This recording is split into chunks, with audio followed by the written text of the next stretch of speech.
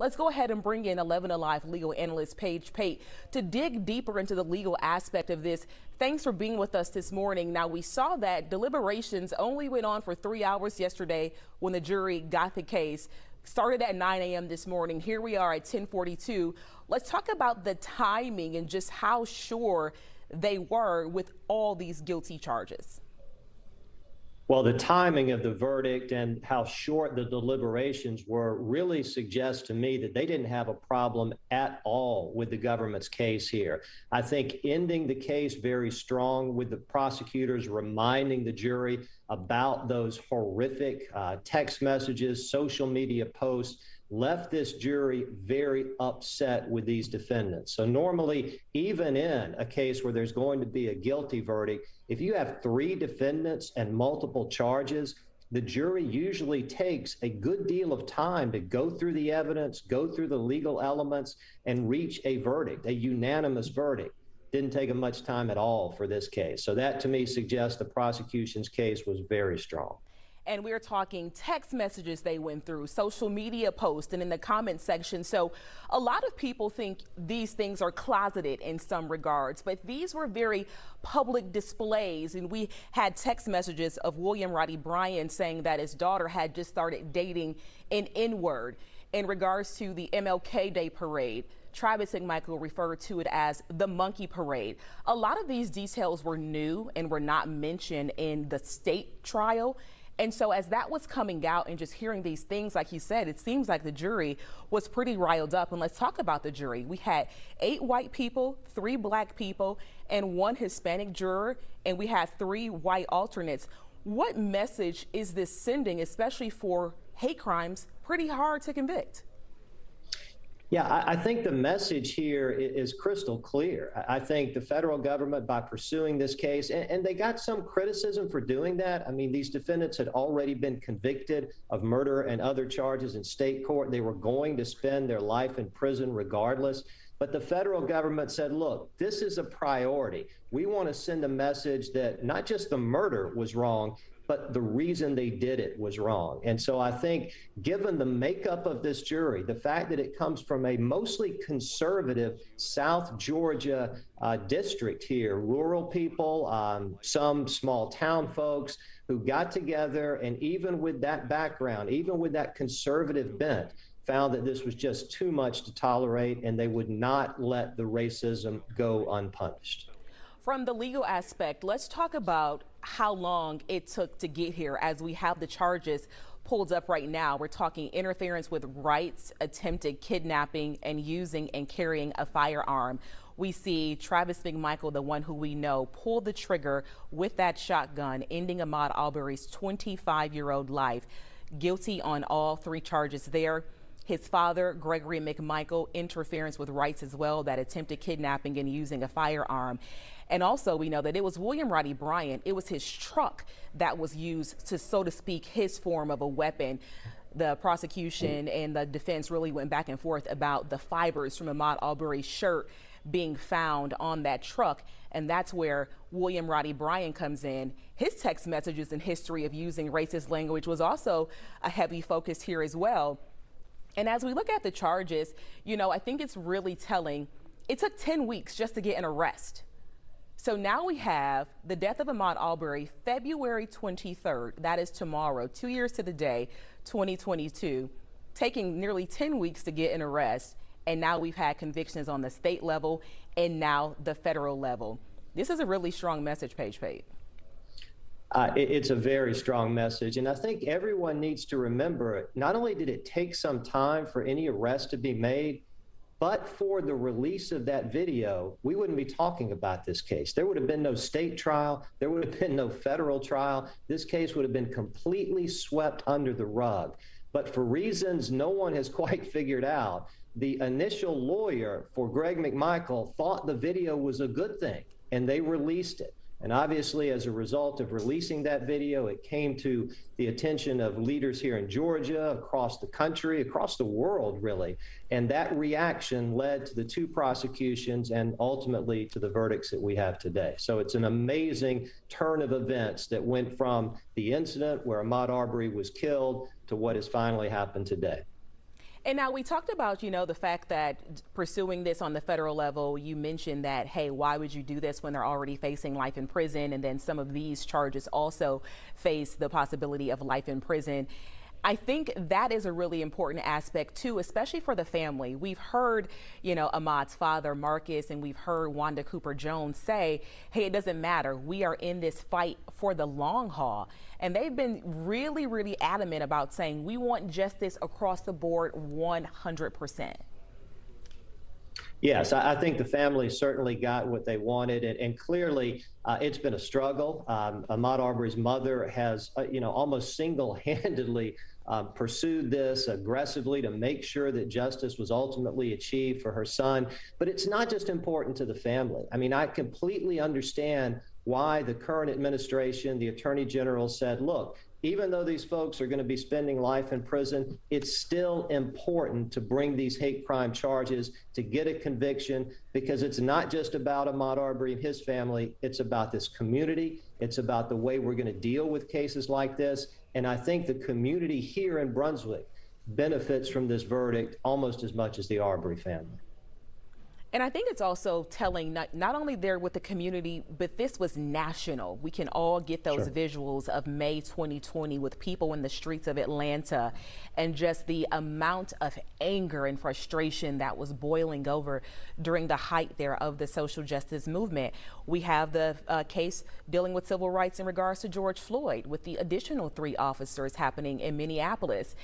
What do we say about all of these cases? Happening together in the fact we know what 2020 symbolized? It really is a sea change. I mean, things are so much different now. I mean, I, have been practicing in federal court for over 25 years. And it used to be the federal government would occasionally bring hate crime charges if they thought the defendants, whoever committed the crime, were not being prosecuted at the state level or not prosecuted properly at the state level. Not so anymore. Uh, and I think people now realize that if you commit a crime like this, not only is it going to be prosecuted, it's going to be prosecuted as much as it possibly can be to the fullest extent of the law, both state, federal, and, and obviously from the reaction of the jury, the very quick verdict. Uh, people are ready for that change. And, and I think we've seen it in this case We've obviously seen it in the George Floyd case, but to me, this case hits home more than George Floyd because of the jurisdiction that we're in. And, and I don't think um, we can we can emphasize that too much. I think it really is significant when we had so many people show up for jury duty that questioned even the reason for a hate crimes charge in this case. To see them come back after listening to this evidence sends a very powerful message and historically hate crimes charges have been very, very hard to get convictions on. Why has that, you know, really been the case? And I think in this day and time, I can almost bet that your response is going to have to do with social media. We heard so many horrific details here, things that you don't think people even say in 2022, but all of that was really uncovered. The veil has been lifted for sure. Yeah, exactly. I mean, you know, if you're these defendants and you're listening to this trial, I mean, you're thinking these things that you said uh, are never going to be, um, you know, displayed publicly in the light of day. Obviously, if you put stuff out on social media, it sticks around. And in a case like this, it shows exactly how these three people felt, what they thought, um, and why, in this case, they committed the, the crime that they did. Hate crimes charges are traditionally difficult because you have to show more than just hate. You have to show more than racial prejudice. You have to show that was the motivating factor for the crime.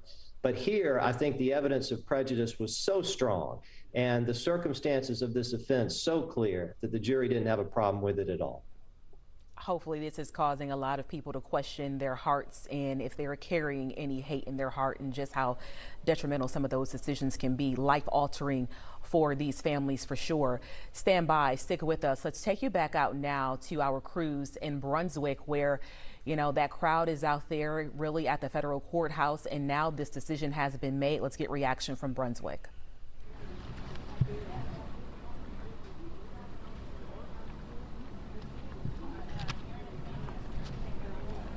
Looks like our crews are standing by, getting ready to join us here, coming up here in just a little bit. We have Don White and Hope Ford Hope Ford was actually inside the courtroom. And to keep in mind, if you guys are wondering where's the video aspect, like we saw those reactions during the state trial, that is because in federal court, cameras are not allowed inside, but we did have our crew in there to get that firsthand account. Let's now take you back to Brunswick.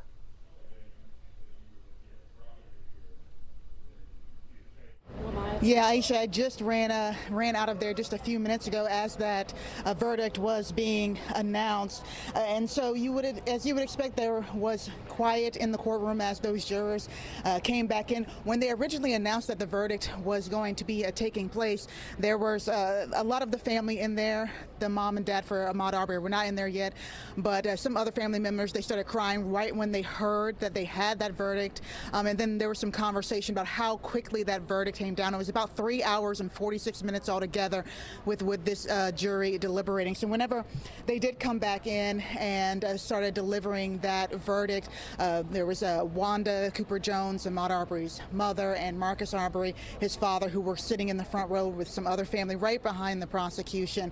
And then, on, of course, on the other side, you had uh, Leigh McMichael, who is Travis's mom and Greg's wife, was sitting a couple of rows behind them. Everyone looked straight ahead as those jurors came back in and they started delivering that verdict. When that first verdict, guilty verdict went out for Travis McMichael, you did see uh, Travis kind of lower his head a little bit, um, but that was really the only reaction as all of those guilty verdicts were read out for, for, for all three of them uh, at that point in time. And I believe right now, we have the family that's coming out. Um, there wasn't a lot of uh, emotional reaction from them whenever they came out, the first, whenever they uh, the the verdict was read, at that point in time, you did have Marcus Arbery, who is Ahmaud's father. He did give a silent celebration. Uh, his mother kind of just looked straight ahead the whole time. Really, a whole not a whole lot of reaction uh, this time around as compared to the original trial, where there was tears and even an outburst from Marcus Arbery at that point in time, whenever he had to leave the courtroom in the original trial. So, not a whole lot of re reaction from the uh, from from either side this time around. But th there were tears in that that courtroom. And it was interesting, the tears that were coming were not from the families of anybody or the defendants or anything. There was actually from the foreperson. So the person uh, who delivered the verdict, who the foreperson, um, it, the only black male on the, the jury. And um, as they were reading the verdict and as they were uh, talking and asking all of the jurors if they did freely give that uh, that that verdict. You did see him wipe away tears. He struggled to talk at one point in time, and he did cry several times. Again, the only black male on the jury. And then one of the assistants for the prosecution team for the government, uh, she actually started crying as well. The uh, she was a black female who is on uh, on there after the judge praised the prosecution team for being able to do their job and uh, saying how difficult it is to give that uh, to prove that that racial arc in these types of of crimes. Um, so it's, I believe the family's going to walk up there and talk right now. I'm not sure if your guys are going to be able to hear what they're what they're saying uh, at this point in time, but. Um, so we're going to just kind of pause for just a second so that we can hear what they're going to say. It is because of their conviction to get full justice not partial justice for their son Ahmaud Arbery. We get to celebrate this moment. On behalf of everybody who has been with them the whole journey. Uh, my great co-counsel Lee Merritt, who is in Texas in a, a historic campaign to become the first black attorney